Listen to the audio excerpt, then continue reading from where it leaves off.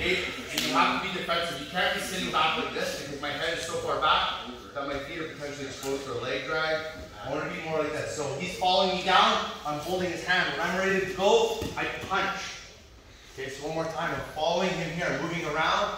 I punch for the takedown. When I stand up, I want to cross, walk him up, and then turn his knee.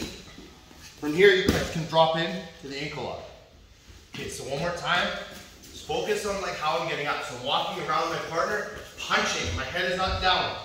I'm controlling.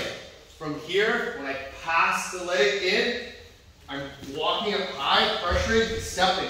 Turning his knee, posting, dropping, ankle up.